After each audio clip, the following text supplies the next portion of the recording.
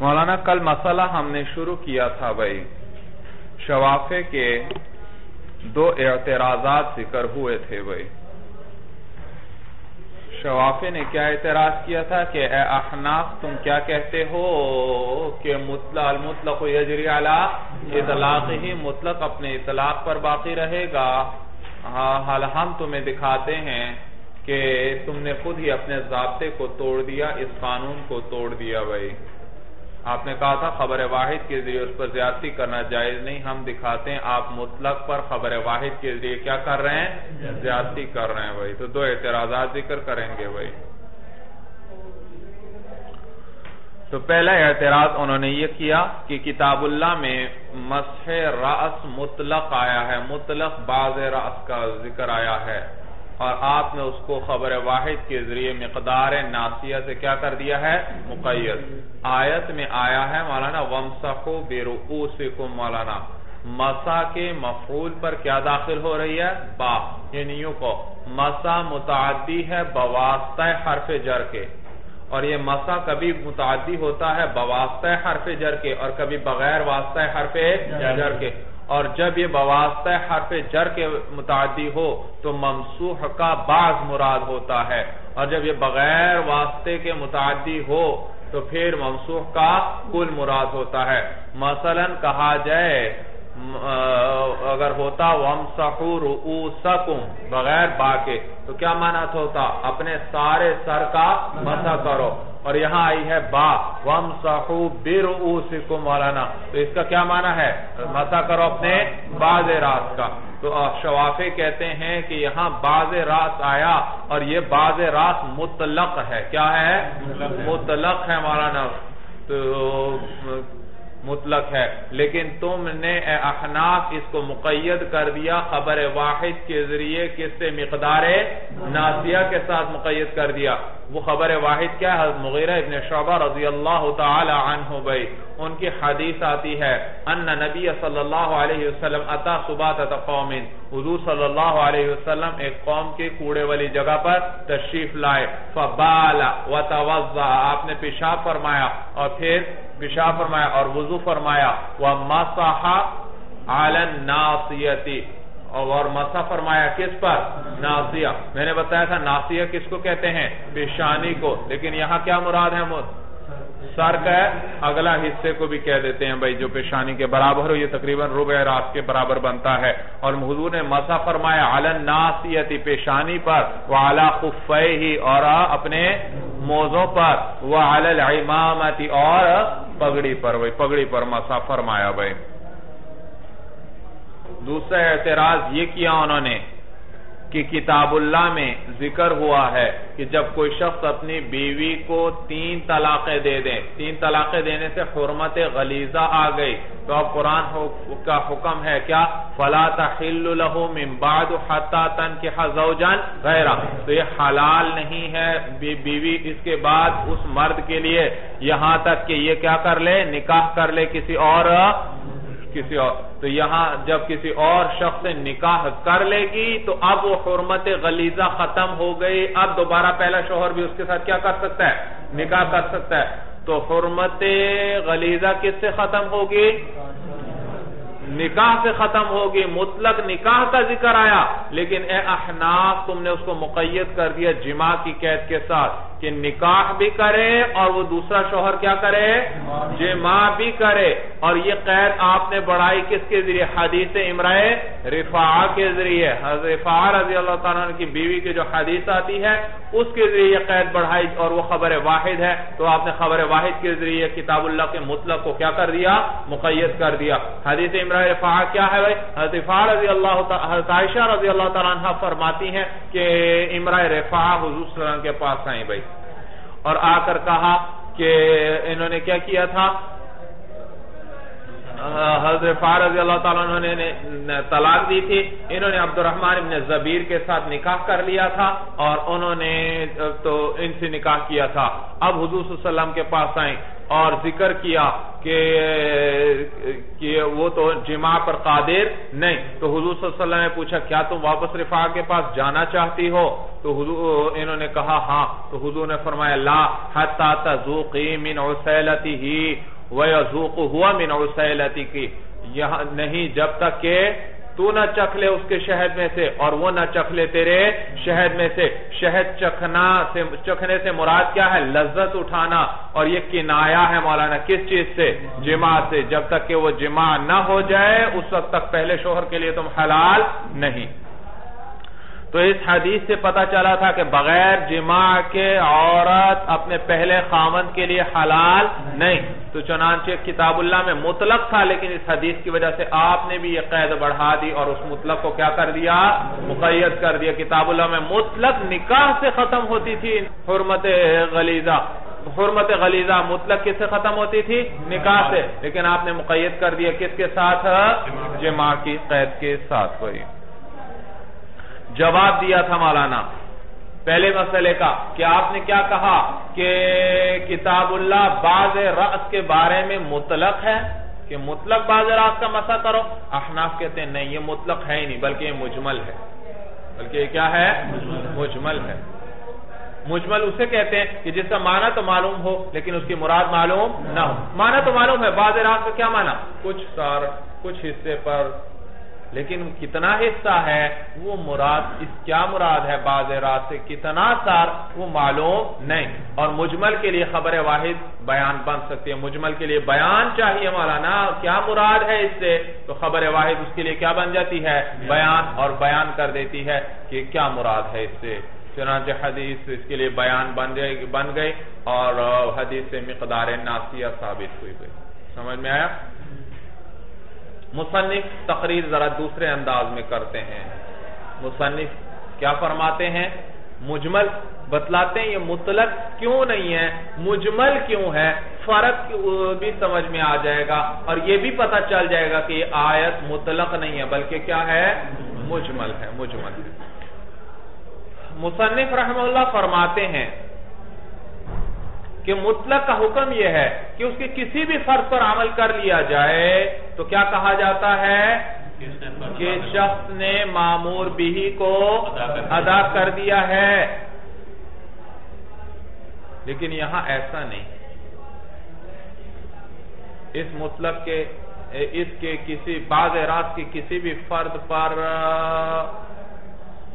عمل کر لیا جائے۔ تو کوئی یہ نہیں کہتا کہ اس نے کیا کیا ہے؟ فرض ادا کیا ہے۔ کیسے دیکھو، مطلق کا کیا حکم بیان ہوا؟ کہ اس کے کسی بھی فرض پر عمل کر لیا جائے تو کیا کہا جاتا ہے کہ اس نے معمور بھی کو ادا کر لیا؟ مثلا مولانا، کفارہ دہار کیا ذکر ہوا؟ کفارہ یمین کیا ذکر ہوا؟ تحریر رقبہ۔ اب تحریر رقبہ مطلق ہے۔ اس کے جس فرض پر بھی عمل کر لو، بس تحریر رقبہ پائی جانی چاہیے۔ مثلا چھوٹا غلام آزاد کرے۔ صغیر کو آزاد کیا، بڑا غلام آزاد کیا، تب بھی تحریر رقبہ۔ مسلمان کو آزاد کیا، تب بھی تحریر رقبہ۔ کافر کو آزاد کیا، تب بھی تحریر رقبہ۔ غلام کو آزاد کیا، تب بھی تحریر رقبہ۔ باندی کو آزاد کیا، تب بھی تحریر رقبہ۔ تو جس فرد پر بھی عمل کر لیا جائے، کیا کہتے ہیں؟ اسے معمور بھی کو ادا کر دیا یعنی تحریر رقبہ کر دی۔ لیکن یہاں پر ایسا نہیں کہ تحریر رقبہ کر دی اور تحریر رقبہ کیا تھی اس میں؟ ضروری تھی بھئی تو یہاں پر ایسا نہیں مولانا۔ یہاں مطلق کے کسی بھی فرد پر کوئی شخص عمل کر لے تو یہ نہیں کہا جاتا کہ اس نے معمور بھی کو ادا کیا ہے، اس نے فرض کو ادا کیا ہے۔ مثلا ایک شخص سلوس پر کیا کرتا ہے؟ مسا کرتا ہے۔ تو یہ نہیں کہا جائے گا کہ اس نے فرض ادا کیا ہے یعنی یہ سلوس کیا ہے؟ فرض ہے۔ دوسرا کیا کرتا ہے مولانا؟ نصف پہ مسا کرتا ہے تو یہ نہیں کہا جائے گا کہ یہ اس نے فرض ادا کیا ہے یعنی یہ نصف کیا ہے؟ یہ تو اس طرح تو مولانا خمس پہ فرض ہوا سلوس پہ فرض ہوا اور سدس بھی فرض ہوا، سلوسین بھی فرض ہوا۔ جتنے پہ عمل کر لے گا، یہ کہنا لازم آئے گا کہ اس نے کیا کیا ہے؟ فرض کو ادا کیا۔ معلوم ہوا یہ جو اس نے ادا کیا کیا ہے؟ فرض ہے۔ حتیٰ کہ امام شافی رحم اللہ بھی یہ نہیں فرماتے کہ جس بات پر بھی عمل کر لیا جائے، وہ کیا ہے؟ فرض ہے۔ وہ بھی فرماتے ہیں کہ بعض رأس کا جو ادنا فرد ہے بعض راز کم سے کم کچھ سر کس کو کہیں گے؟ تین بالوں کو۔ کس کو کہیں گے؟ لہذا تین بال وہ بھی کہتے ہیں فرض ہے ان پر مسا کرنا اور اس سے زائد سنت ہے۔ سمجھ میں آیا؟ تو اس کے ہاتھ مطلق جو ہے اپنے تمام افراد پر صادق آتا ہے اور یہاں پر ہر فرد کو فرض قرار نہیں دیا جا سکتا مولانا۔ مثلا ربع، نصف سولوس خموس سودوس، ان میں سے ہر ایک کو فرض قرار دیا جا سکتا ہے؟ ان میں سے ہر ایک کو فرض قرار نہیں دیا جا سکتا۔ معلوم ہوا یہ مجمل ہے مولانا۔ مطلق فرق سمجھ میں بھی آیا یا ویسے سارے لا رہے ہیں؟ جی؟ بھئی مطلق کا حکم یہ ہے، اس کے کسی بھی فرد پر عمل کر لیا جائے تو کیا کہا جاتا ہے کہ اس نے معمور بھی کو ادا کر دیا ہے، ادا کر دیا ہے۔ اور مطلق اپنے تمام افراد پر برابری کے ساتھ صادق آتا ہے۔ تمام افراد پر؟ جیسے وہاں تحریر رقبہ، بچے کو آزاد کیا، غلام کو، پھر بھی تحریر رقبہ۔ بڑے کو آزاد کیا، پھر بھی تحریر رقبہ۔ کافر کو کیا تحریر رقبہ، کا مسلمان کو آزاد کیا تحریر رقبہ، غلام کو آزاد کیا تو بھی تحریر رقبہ، باندی کو آزاد کیا تو بھی تحریر رقبہ ہے۔ لیکن یہاں معمور بھی ہی کیا ہے؟ فرض فرض۔ سر پر مسا کیا ہے مولانا؟ فرض ہے۔ تو یہاں ہر ایک کو فرض نہیں قرار دیا جا سکتا سلوس فرض ہے۔ نصف فرض ہے، سلوسین فرض ہے۔ یہ بات بنتی ہے ہمارا نا ہر ایک پر برابری کے ساتھ فرض ہونا صادق آ رہا ہے، ہر ایک برابری کے ساتھ۔ اگر سلوس فرض ہے تو نصف کو نہیں کہیں گے۔ پھر نصف فرض نہیں۔ اگر نصف فرض ہے تو پھر سلوس فرض نہیں۔ صورت سمجھ میں آ رہی ہے؟ تو دیکھیے قلنا جواب دوبارہ دیکھیے، ان الکتاب لیس مطلق فی باب المسح کے کتاب اللہ مسح کے باب میں مطلق نہیں ہے۔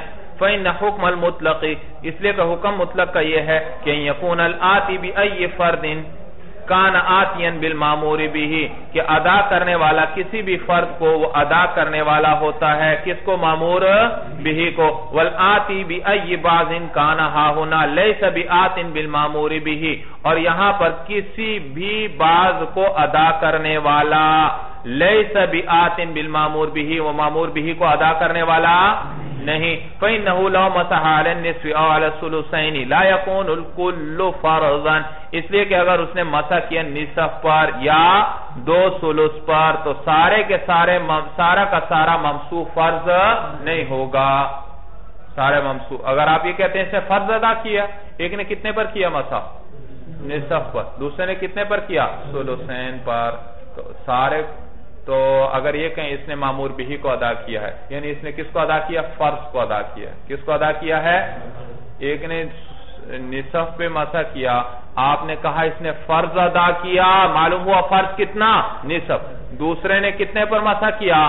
سلوسین پر۔ آپ نے کیا کہا؟ اس نے فرض ادا کیا۔ معلوم ہوا سلوسین کیا؟ فرض۔ تو فرض یا تو نصف ہو سکتا ہے یا سلوسین، سارے افراد فرض نہیں، کوئی ایک فرد ہوگا۔ معلوم ہو یہ مطلق ہے نہیں۔ فَإِنَّهُ لَمَسَالِ اچھا۔ وَبِهِ فَارَقَ الْمُطْلَقُ الْمُجْمَلَ۔ اور اس وجہ سے جو ہم نے فرق بیان کیا، جدا ہو گیا مطلق کس سے؟ مجمل سے جدا ہو گیا۔ پتہ چلا یہ مجمل ہے، مطلق نہیں۔ جس، اس کا معنی تو معلوم ہے، لیکن اس کی مراد معلوم نہیں، اور اس کے لیے حدیث بیان بن گئی۔ اس پر اشکال ہوا والا نا کہ حضور نے ناسیہ پر مسا کیا تو اور ناسیہ کس کو کہتے ہیں؟ سر کا؟ اگلے حصے کو۔ سر کے؟ ویسے تو پیشانی ہے، اور اگلے حصے کو بھی کیا کہتے ہیں؟ اس کی پیشانی کے برابر۔ اس کو بھی مجازن کیا کہتے ہیں؟ ناسیہ تو سر کے اگلے حصے کا فرض قرار دونا اے احناف، آپ نے تو ناسیہ کو فرض نہیں قرار دیا، مقدار ناسیہ کو فرض قرار دیا کہ اتنی مقدار میں کر لو جس طرف سے بھی۔ تو اس قید بڑھائی حدیث سے، اور حدیث سے ثابت ہوا صرف ناسیہ، لیکن آپ نے ناسیہ نہیں، بلکہ کس کو ثابت کیا؟ مقدار۔ جواب احناف دیتے ہیں کہ بھئی محل تو قرآن سے معلوم ہو چکا تھا۔ کہ مسا کرنا ہے، لیکن کہاں پر کرنا ہے؟ سر پر۔ ہاں مقدار پتا نہیں تھی کہ اس بعض رات سے کیا مراد ہے، کتنی مقدار ہے۔ تو حدیث سے کس چیز کا پتا چل گیا؟ تو حدیث نے اس مقدار کو بیان کر دیا کہ کتنی مقدار ہے؟ ناسیہ کی مقدار ہے۔ اب وہ ناسیہ کی مقدار مسا کر لیں، چاہے سر کے اگلے حصے میں، درمیان والے میں بھی، آخر والے حصے میں ایک طرف ہو دوسری طرف ہو۔ بس اتنی مقدار ادا کر لے گا تو فرض کیا ہو جائے گا؟ ادا ہو جائے گا۔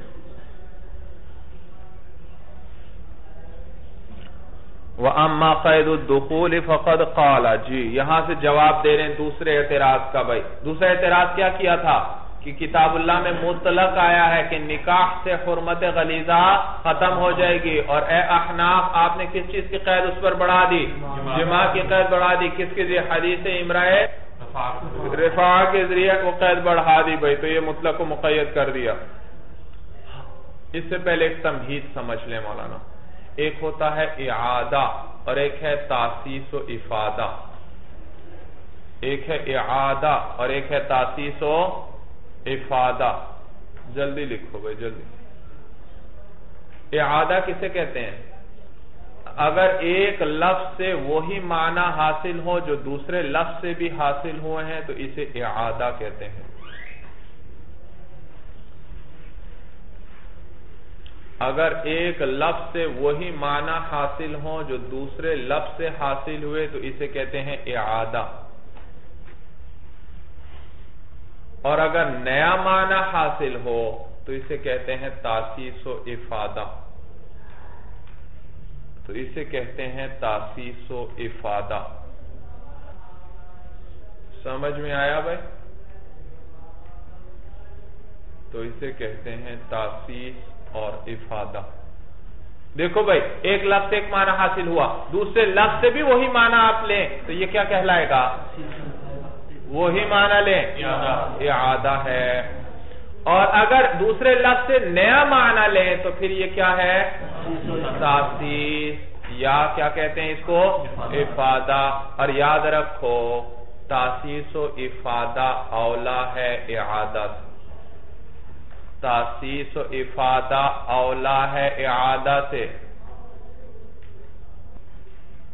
آپ بتلائیے مولانا، ایک معنی ایک لفظ سے پہلے حاصل ہو چکا ہے، دوسرے لفظ سے بھی وہی معنی لیا جائے، یہ بہتر ہے یا نیا معنی لیا جائے، وہ بہتر ہے؟ نیا معنی تاکہ نیا فائدہ حاصل ہو۔ کیا ہو؟ یہ بات۔ اب اعادہ سمجھ میں آ گیا، تاسیس اور افادہ سمجھ میں آیا؟ جی۔ اب دیکھیے جواب سنیے۔ جواب یہ کہ اے شوافے آپ نے کیا اعتراض کیا کہ کتاب اللہ میں کیا آیا ہے؟ مطلق نکاح کا ذکر آیا ہے اور جماع کی قید ہم نے کس کے ذریعے بڑھائی ہے؟ حدیث کے ذریعے۔ کہتے ہیں، نہیں، بات ایسی نہیں ہے۔ بلکہ جماع کی قید بھی قرآن ہی سے معلوم ہو رہی ہے۔ وہ کس طرح؟ کہ قرآن میں آیا ہے، حتی تن کی حزوجن یہاں تک کہ نکاح کر لے عورت کس سے؟ دوسرے شوہر سے۔ زوجن کا لفظ تنکیحہ کے ساتھ آگے کیا لفظ آ رہا ہے؟ زوج کا لفظ۔ اور زوج کس کو کہتے ہیں؟ جس کے ساتھ عقد ہوا ہو۔ بھائی، بغیر عقد کے کوئی میاں کہلائے گا؟ نہیں، عقد ہوگا تو وہ خامن کہلائے گا۔ عقد خامن کہلائے گا۔ تو زوج کا لفظ کس پہ دلالت کر رہا ہے؟ عقد پہ۔ اور نکاح کے دو معنی آتے ہیں والانا ایک وقی اور ایک عقد۔ اب اگر اس تنکیحہ سے بھی مراد، نکاح سے بھی مراد ہم کیا لے لیں مولانا؟ عقد مراد لے لیں۔ یہ تو پھر اعادہ ہوگا۔ یہ تو کیا ہوگا؟ بھئی عقد کا پتہ تو کس سے چل چکا؟ زوج سے۔ تو تنکیحہ سے کیا کرو؟ اس سے بھی اگر ہم عقد کا معنی لیں تو یہ کیا ہے؟ اعادہ اور نکاح کا ایک معنی کیا آتا ہے وتی تو اب اگر اس سے وتی اور جماع مراد لیا جائے تو پھر یہ کیا ہے؟ تاسیس اور افادہ ہے۔ تو اور تاسیس اور افادہ اولا ہے کس سے؟ اعادہ سے۔ لہذا یہ تنکیح سے ہم کیا مراد لیتے ہیں؟ وطی مراد لیتے ہیں۔ کیا مراد لیتے ہیں؟ وطی مراد لیتے ہیں کیونکہ افادہ اولا ہے۔ یہ جمع کی قید بھی کہاں سے معلوم ہوئے؟ قرآن ہی سے۔ یہ تنکیحہ کا معنی یہ یہاں تک کہ جمع کر لے، اس کے ساتھ ایک اور خاون سمجھ میں آیا؟ زوج نے کس پہ دلالت کی تھی؟ عقد پہ۔ اب تنکیحہ سے بھی مراد عقد لے لیں، تو پھر کیا لازم آئے گا؟ تو اعادہ ہوا۔ اور اگر اس سے مراد وطی لے لیں، تو پھر کیا ہے؟ اور احتمال دونوں کے ہیں۔ تو اولا کیا ہے؟ اس سے کیا مراد لیا جائے؟ تاسیس اور وطی مراد لی جائے تاکہ تاسیس اور افادہ آ جائے، نیا فائدہ حاصل ہو جائے۔ سمجھ میں آیا بھائی؟ تو یہ قید ہم نے خبر واحد سے بڑھائی ہے یا یہ قید قرآن ہی میں موجود ہے؟ قرآن ہی میں موجود ہے، لہذا آپ کا سوال ہی ختم ہوا، اشکال ہی ختم ہو گیا۔ یہ ایک جواب۔ ہاں اس پہ اشکال ہوتا ہے۔ آپ نے اے احناف کیا کیا؟ تنکیحہ ہاں نکاح سے کیا مراد لیا؟ وطی مراد لی۔ کہتے ہیں یہاں پر نکاح سے وطی مراد نہیں لے سکتے۔ شوافے کہتے ہیں کہ یہاں پر نکاح سے وطی مراد کیوں نہیں مراد لے سکتے وطی کہتے ہیں کہ تن کی حق ہاں کا سیغا آیا، تن کی حق معنس کا سیغا ہے۔ نکاح کی اسناد کس کی طرف ہو رہی ہے؟ عورت کی طرف۔ کس کی طرف؟ عورت کی طرف۔ عورت مانا کیا ہو جائے گا؟ وطی کرے عورت؟ یہ تو کوئی بات نہ ہوئی۔ وطی تو کون کرتا ہے؟ مرد کرتا ہے۔ وطی کون کرتا ہے؟ مرد کرتا ہے۔ تو تنکیحہ کے اندر جو اسناد عورت کی طرف ہوا، یہ مانع ہے۔ یہاں پر آپ وطی سے مراد نہیں لے سکتے، کیونکہ وطی کرنے والا کون؟ مرد ہے۔ جواب یہ یہ مولانا مجاز کی قبیل سے ہے اور مجازن عورت کی طرف وطی کی نسبت کر دی۔ اور کیونکہ عورت کی طرف نسبت، اس لیے کہ عورت وطی کا وطی کی قدرت دینے والی ہے۔ وہ قدرت دے گی تو مرد وطی کر سکتا ہے، وہ قدرت نہیں دیتی تو وہ وطی نہیں کر سکتا۔ سمجھ میں آیا بھائی؟ یہاں عورت کی طرف اسناد کیوں ہوا؟ یہ کس قبیل سے ہے مولانا؟ مجاز کے قبیل سے ہے مولانا۔ تو کیوں کی گئی نسبت نکاح کی وطی کی عورت کی طرف؟ کیونکہ وہ وطی کی کیا کرنے والی ہے؟ قدرت دینے والی ہے، قدرت دینے والی ہے۔ سمجھ میں آیا؟ تو یہ مجاز کی قبیل جیسے مولانا ازانیہ کا لفظ۔ زانیہ زنا کرنے والی عورت۔ زنا کس کو کہتے ہیں؟ وطی حرام کو کہتے ہیں۔ تو دیکھو ازانیہ میں وطی حرام کی نسبت کس کی طرف ہو رہی ہے؟ عورت کی طرف۔ حالانکہ وطی کرنے والا تو کون ہوتا ہے؟ مرد۔ کیوں نسبت کی گئی؟ اسی لیے نسبت کی گئی، کیونکہ عورت کیا ہے؟ وطی کی قدرت دینے والی ہے، تو گویا وہ وطی کرنے والی ہے۔ سمجھ میں آیا بھائی؟ جی۔ اعتراض بھی اور جواب بھی گزر گیا۔ اب دوسرا جواب سنو والا نا دوسرا جواب یہ کہ آپ نے کیا کہا؟ حدیث امرہ رفاع کیا ہے؟ خبر واحد۔ ہم کہتے ہیں نہیں یہ خبر واحد ہے ہی نہیں۔ بلکہ علماء نے اس کو کیا قرار دیا ہے؟ خبر مشہور قرار دیا۔ یہ خبر مشہور ہے اور خبر مشہور کے ذریعے کتاب اللہ پر زیادتی جائز ہے۔ خبر واحد کے ذریعے تو زیادتی جائز نہیں لیکن خبر مشہور کے ذریعے زیادتی مطلق کو مقید کرنا جائز ہے۔ تو اگر حدیث سے حبی بڑھائی جائے تو یہ حدیث خبر مشہور ہے اور خبر مشہور کے ذریعے کتاب اللہ پر زیادتی کرنا جائز۔ جواب سمجھ میں آیا؟ یاد رکھو حدیث عند الفقہا فقہا کے نزدیک حدیث تین قسم پر ہے۔ فقہا کے نزدیک حدیث تین قسم پر ہے۔ خبر متواتر، خبر مشہور اور خبر واحد۔ خبر متواتر، خبر مشہور اور خبر واحد۔ خبر متواتر وہ حدیث ہے جس کے روایت کرنے والے جس کے روایت کرنے والے ہر زمانے میں اتنے کثیر افراد ہوں،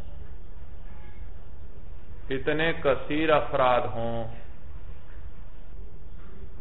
کہ عقل ان کے اجتماع علی الكذب کو محال سمجھے۔ کہ عقل ان کے اجتماع علی الكذب کو محال سمجھے۔ سمجھ میں آئی تاریخ؟ خبر متواتر کس کو کہتے ہیں؟ وہ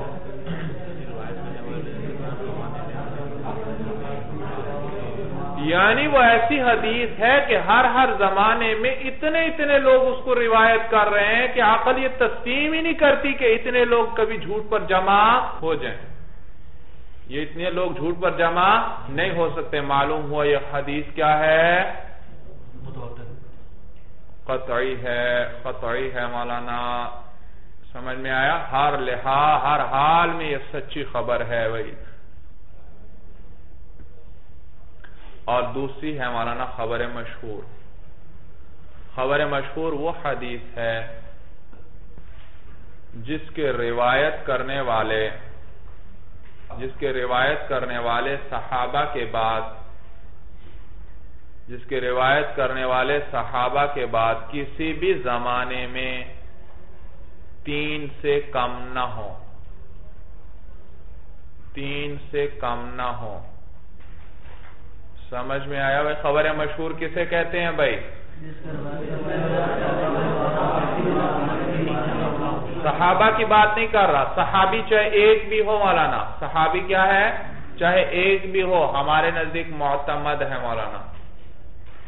ہاں بعد کے کسی زمانے میں بھی اس کے روایت کرنے والے تین سے کم، تابعین بھی کم از کم تین ہو یا تین سے زیادہ۔ تبع تابعین بھی کم از کم تین یا تین سے اسی طرح بات کے کسی زمانے میں بھی تین سے کم نہ ہو تو یہ کیا کہلاتی ہے؟ خبر مشہور۔ اور خبر واحد۔ اور اگر کس صحابہ کے بعد، اور اگر صحابہ کے بعد کسی زمانے میں روایت کرنے والے تین سے کم ہوں۔ یعنی دو یا ایک ہوں۔ یعنی دو یا ایک ہوں۔ تو پھر اسے خبر واحد کہتے ہیں۔ تو پھر اسے خبر واحد یا خبر آحاد کہتے ہیں۔ تو پھر اسے خبر واحد یا خبر آحاد کہتے ہیں۔ سمجھ میں آیا؟ خبر متواتر جس کے روایت کرنے والے ہر زمانے میں اتنے زیادہ ہوں کہ عقل ان کے اجتماع الکذب کو محال سمجھے کہ اتنے لوگ کبھی بھی جھوٹ پر جمع نہیں معلوم ہو یہ خبر ہر حال میں سچی ہے۔ اور خبر مشہور کیا ہے کہ جس کے راوی صحابہ کے بعد تابعین تبا تابعین یا بعد کے کسی زمانے میں بھی تین سے کم کم سے کم اگر کسی زمانے میں ہو تو تین ہو اس سے کم نہ ہو اس سے زیادہ۔ اور پھر خبر واحد ہے جس کی روایت کرنے والے صحابہ کے زمانے کے بعد کسی زمانے میں بھی مثلا تابعین صرف دو ہیں یا ایک ہے یا تبا تابعین صرف اس کو روایت کرنے والے دو ہیں یا ایک ہے۔ تو پھر یہ کیا کہلائے گی خبر ہے واحد یا خبر آحاد کہلائے گی بھائی سمجھ میں آیا؟ جی۔ خبر آحاد کہلائے گی خبر آحاد کہلائے گی بھائی تو کتاب اللہ پر خبر واحد کے ذریعے زیادتی تو جائز نہیں لیکن خبر مشہور کے ذریعے کیا کی جا سکتی ہے؟ زیادتی کی جا سکتی ہے۔ جی دیکھیے مولانا۔ وَأَمَّا قَيْدُ الدُّخُولِ فَقَدْ قَالَ الْبَعْضُ اور باقی جو جو جماع کی قید ہے تو تحقیق کہا ہے بعض علماء نے، بعض فقہا نے اِنَّ النِّكَاحَ فِي النَّفْسِ حُمِلَ عَلَى الْوَطِيِ، کہ نکاح جو ہے نفس کے اندر یعنی آیت کے اندر، وہ محمول ہے کس پر؟ وطی پر۔ اذ العقد مستفاد من لفظ الزوجی اس لیے کہ عقد تو عقد کا معنی تو حاصل ہو رہا ہے زوج کے لفظ۔ زوج کے لفظ سے کیا معنی حاصل ہو رہا ہے؟ عقد۔ زوج کہتے ہیں کس کو ہیں؟ جس نے کیا کیا ہو؟ عقد۔ وَبِهَذَا يَزُولُ السُّعَالُ اور اس وجہ سے سوال کیا ہو جاتا ہے؟ زائل ہو جاتا ہے، کیونکہ یہ قید ہم نے حدیث سے، خبر واحد سے نہیں بڑھائی، بلکہ کس سے بڑھائی ہے؟ کس سے معلوم ہوئی ہے یہ قید؟ قرآن ہی سے معلوم ہوئی ہے۔ وقال البعض، اور بعض ہمارے فقہا فرماتے ہیں، قید الدخول ثبت بالخبر کی یہ دخول کی قید کس سے ثابت ہے؟ خبر ہی کے ذریعے ثابت ہے۔ وَجَعَلُوهُ مِنَ الْمَشَاهِيرِ اور قرار دیا ہے اس کو کس میں سے؟ خبر مشہور میں سے قرار دیا ہے، فلا يلزمهم تقید الكتاب بخبر الواحدی تو ان پر لازم نہیں آتا مقید کرنا کتاب اللہ کو خبر واحد کے ساتھ۔ چلیے مولانا هذا هو الرام واللہ عالم بحقیقت الکلام۔